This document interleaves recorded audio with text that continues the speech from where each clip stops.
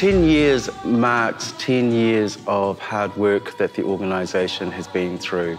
From trialling things out, failing on things, and succeeding on things.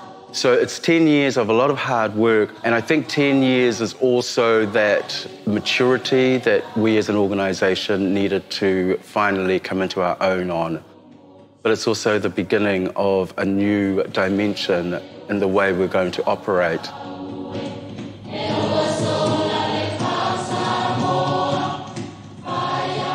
There are 10 different dance forms from 10 different cultures that represent the Pacific community here in Aotearoa, New Zealand. The dance forms are cultural dance forms, and in this series, you are going to experience the diversity, the majesty, the dignified roles that these artists play in our cultural artistic landscape in New Zealand.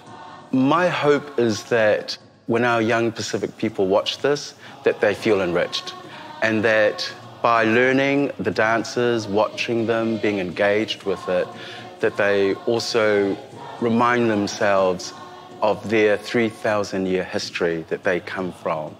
And that when you watch the dance and you participate in the dance, you are indeed participating in being who you are as a Pacific person in our country. And part of this series is about the way we have transformed our lives through our dance practices.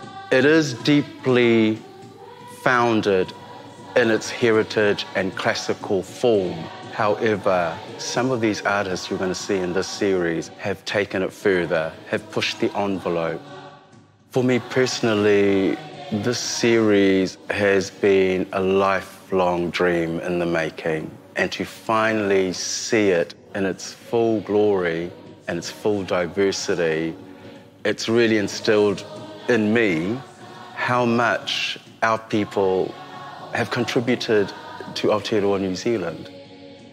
We have contributed in an economic way, but in its cultural way, we've probably made the biggest significant change in the arts landscape.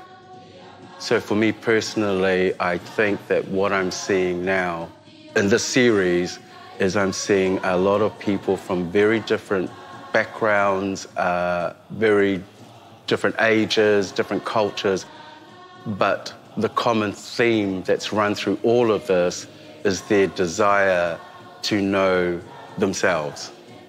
And it's through the practice of their ancient art forms, that they remain themselves in this very changing world.